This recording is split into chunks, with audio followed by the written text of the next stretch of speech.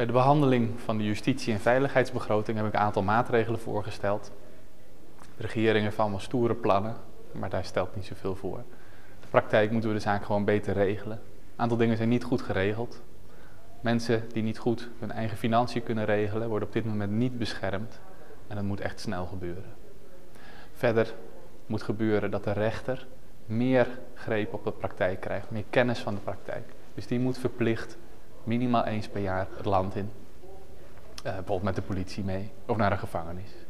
Faillissementsfraude moet worden aangepakt. Beter moeten worden georganiseerd het, het samenwerken van de, van de, rechter, de officier van justitie, de politie, de reclassering. En uiteindelijk moeten we gewoon stevig optreden, maar ook perspectief bieden. Dat is wat de Partij van de Arbeid vindt en daar heb ik de minister heel stevig op aangesproken.